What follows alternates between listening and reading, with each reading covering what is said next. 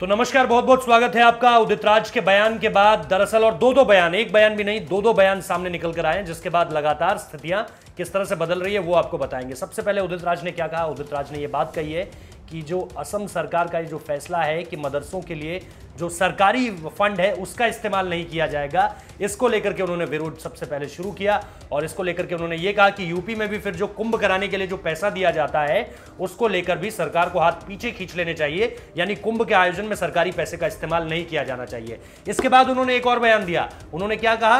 कि जो योगी हैं या जो पंडित हैं, ये सिर्फ़ क्रियाक्रम या पूजा कराने वाली जैसी चीज़ों के लिए ठीक है, इसके अलावा सरकार चलाने के लिए ठीक नहीं है।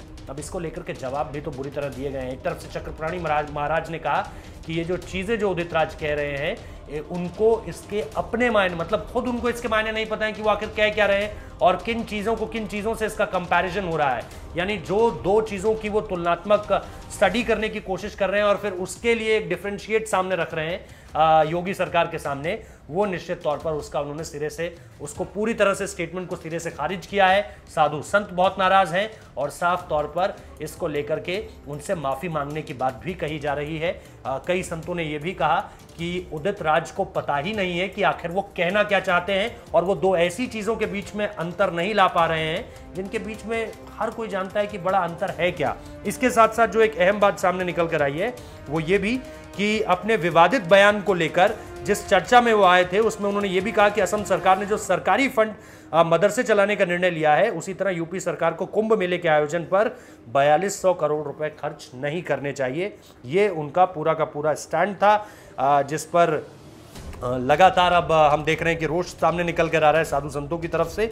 और इसके बाद जो है वो लगातार बयालीस सौ करोड़ रुपए की जो बात हुई है कुंभ को लेकर, उसके लिए संबित पात्रा ने एक ट्वीट किया है। संबित पात्रा का ट्वीट सबसे पहले आपको, आप पढ़िए निश्चित तौर पर, मैं भी आपको बता रहा हूँ कि उन्होंने क्या कहा।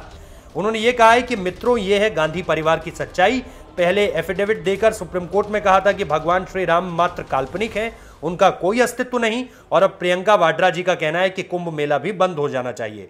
तभी तो दुनिया कहती है कि राहुल और प्रियंका सुविधा वाली सुविधावादी हिंदू हैं। ये तो निश्चित तौर पर हम आपको बता ही रहे हैं कि किस तरह से अगड़ों पिछड़ों की राजनीति को साधना हो तो हाथरस चले जाते हैं। हिंदू मुसलमान में बात करनी हो तो फिर बलरामपुर का एंगल दिखता नहीं है वहाँ पर। और इसके अलावा राजस्थान की हम बात जो आपको बता रहे थे कि पुजारी को ज़िंदा जला दिया जाता है, लेकिन राहुल गांधी और प्रियंका गांधी, उनका पर्यटन दौरा जो है, जो वो किसानों के लिए करते हैं, हम लगातार आपको बता रहे हैं कि कैसे राहुल गांधी को जो अपना पर्यटन था वो दिखाना था किसानों के साथ तो वो चले गए ट्रैक्टर पर सोफा लगा के।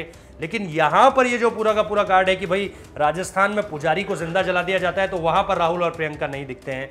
तो ये बिल्कुल सही बात है कि जिस तरह से कांग्रेस जगह देख के, इलाका देख के किसके साथ क्या हुआ है, इसका फ़ायदा हमें होगा या नहीं, तब जाकर एक पूरा का पूरा फैसला लेती है।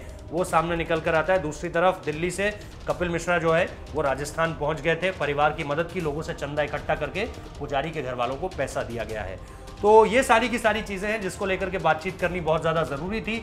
उदित राज के बयान को कंडेम किया जाना चाहिए और इसके साथ साथ कठोर जवाब तो दिया ही जाना चाहिए। आप लोग भी निश्चित तौर पर बताइए कि स्टेटमेंट को आप किस तरह से देखते हैं और स्टेटमेंट के खिलाफ निश्चित तौर पर एक संदेश आप भी दीजिए। बहुत बहुत शुक्रिया इस वीडियो को देखने के लिए।